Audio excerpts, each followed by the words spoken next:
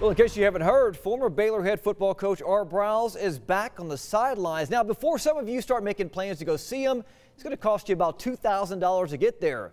I had a chance to speak with Briles' lawyer, Ernest Cannon, who confirmed to me this morning that his client did accept a head coaching job in Italy. That's not Italy, Texas, Italy overseas. He's going to coach the American football team, Estra Guelfi Firenze, based in Florence. Now, it's his first job since being fired in the wake of a sexual assault scandal at Baylor. Last August, the Hamilton Tiger Cats of the Canadian Football League hired Briles as an offensive assistant coach. After public backlash, Hamilton decided to back out of their agreement. In a statement on the Italian team's website, Briles said, quote, I am grateful to return to the field to train American football and do what I love.